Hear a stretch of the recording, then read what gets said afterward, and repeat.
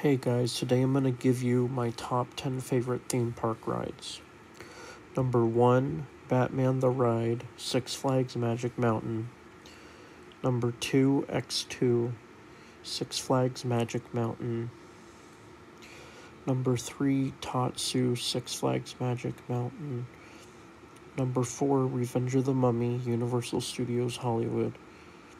Number 5, Transformers The Ride 3D, Universal Studios Hollywood. Number 6, Harry Potter and the Forbidden Journey, Universal Studios Hollywood. Number 7, Space Mountain, Disneyland.